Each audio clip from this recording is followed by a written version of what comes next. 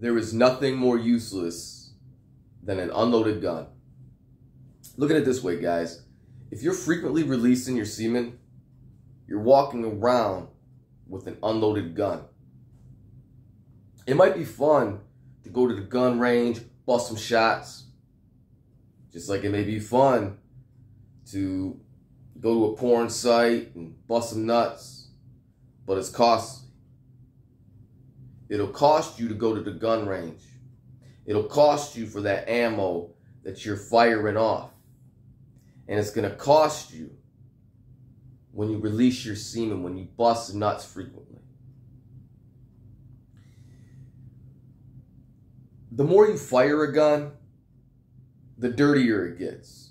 Um, wear and tear happen to the gun to where it requires more maintenance. Likewise, when you're frequently busting nuts, it takes a toll on the body. It will require more maintenance for your body, having to pull vital vitamins and nutrients from organs and such because you're in a deficit from constantly busting nuts. And so just like going to the gun range and firing off shots, when you're frequently ejaculating to pornography or if you're, you know, just having one night stand to one night stand to one night stand, you're in a deficit and it's going to require more maintenance.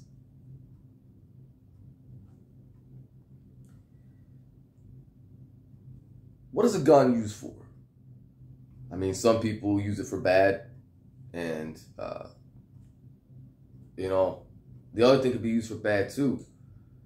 Good men, we use gun for self-defense. I mean, I would say that's the reason why I have a gun. I have a gun for self-defense.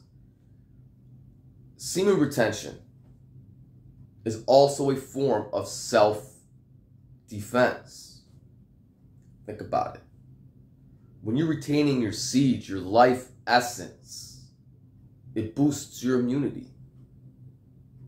You become stronger, more attractive. Um, just the fact that you're stronger mentally, more confident. Being more confident, you know, being in a positive mindset will help defend you from negative people. In reality, as far as self defense goes, very rarely are we in any physical danger in modern times. Very rarely.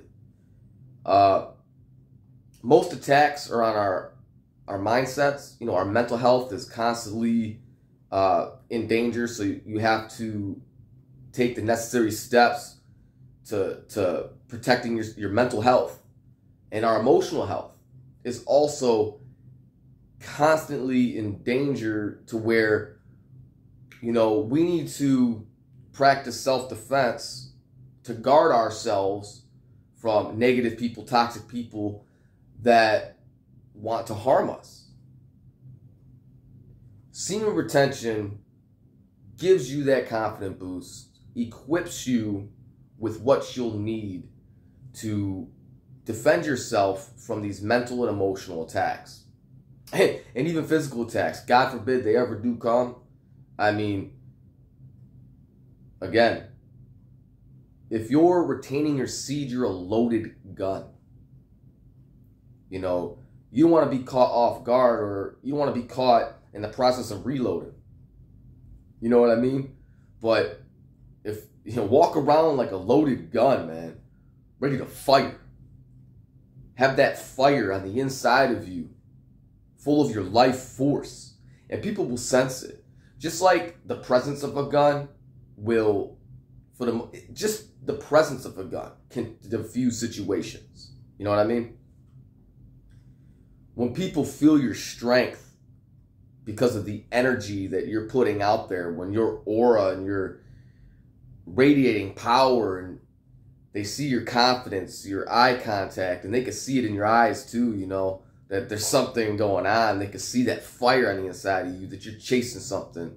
Uh, in terms of self defense, those people, uh, those negative people, those toxic people, they may just stay away from you. And I have a video about navigating through negative people, but you know, that's one thing I've learned I've seen retention, especially as a man, like it'll actually make other men act feminine around you. You know, the feminine energy, the females, they sense it. Women are naturally more submissive than men in most cases. But if you're a man that's retaining your seed and you're practicing semen retention, other men, they're, you know, they will submit to you, so to speak, you know. So, again, there's nothing more useless than an unloaded gun. And to constantly go to the range and bust shots, or if you were to make the mistake and fire off shots place not uh, it, it's costly. Either way you look at it it's costly. Frequently ejaculating is costly. It will take a toll on your body. Do yourself a favor. Defend yourself